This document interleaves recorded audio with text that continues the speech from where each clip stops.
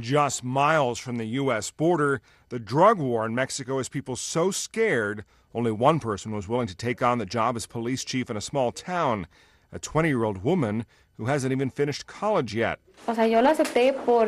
I accepted because of the project. I don't know about any other, but I accepted because I like the project and I want to collaborate and live with my people, my family, my community, the people from my town.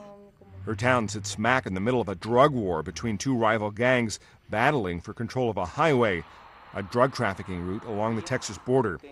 This is an area where many public officials have been killed. Marisol Garcia says she hopes to bring law and order to the town. I never thought about if I'm here today, but not tomorrow. What I say is I'm here today.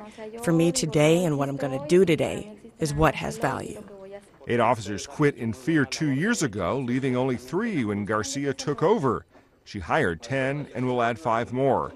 She's been assigned two bodyguards but won't carry a gun.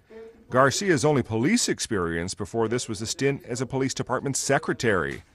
Matt Friedman, The Associated Press.